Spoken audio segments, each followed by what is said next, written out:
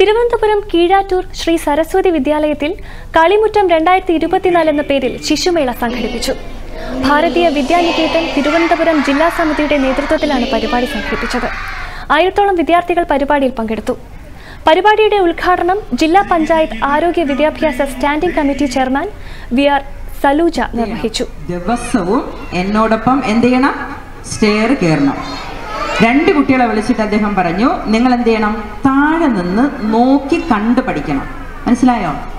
രണ്ട് കുട്ടികളോട് എന്ത് പറഞ്ഞു? ദിവസവും ഈ സ്റ്റെപ്പ് കയറാൻ പറഞ്ഞു.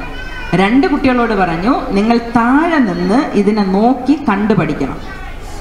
ഒരു മാസം കഴിഞ്ഞു അദ്ദേഹം വീണ്ടും വന്നു അദ്ദേഹം പറഞ്ഞു ഇനി നമുക്ക് എന്ത് ചെയ്യാം നിങ്ങൾ താഴെ നിന്ന് നോക്കി കണ്ടൊക്കെ പഠിച്ചല്ലോ. മറ്റു കുട്ടികളോട് പറഞ്ഞു നിങ്ങൾ ദിവസവും കയറിയൊക്കെ പഠിച്ചു നിങ്ങൾ വളരെ ഹാപ്പിയാണ്. അപ്പോൾ ഈ നാല് കുട്ടികളെയും വിളിച്ചിട്ട് അദ്ദേഹം എന്ത് ചെയ്തു? നമുക്കിനി ഒരുമിച്ച് എന്ത് ചെയ്യാം? ഈ സ്റ്റെപ്പ് കയറാന്ന് പറഞ്ഞു. അപ്പോൾ ദിവസവും ഈ സ്റ്റെപ്പ് കയറിയ കുട്ടികൾ എന്ത് ചെയ്യുന്നറിയോ?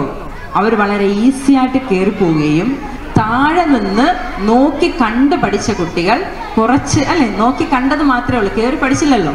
അപ്പോൾ അവരെന്ത് ചെയ്തു? താഴെ നിന്ന് പതുക്കെ പതുക്കെ പമ്മി പമ്മി കയറുന്ന ഒരു രീതി ഉണ്ടായി. മേളയിൽ ആറു വയസ്സിന് താഴെയുള്ള കുട്ടികൾക്കായി ശാസ്ത്രീയ പരീക്ഷണശാല? ചിത്ര പുസ്തകാലയം നീന്തൽക്കുളം ദേശഭക്തി ഗാനങ്ങൾ തുടങ്ങിയ വിവിധ പരിപാടികളും ഒരുക്കിയിരുന്നു.